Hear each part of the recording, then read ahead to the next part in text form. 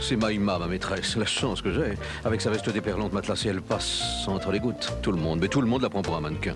Allez, viens. Hmm? Josie va te faire traverser. Oh, oh, non, pas Josie.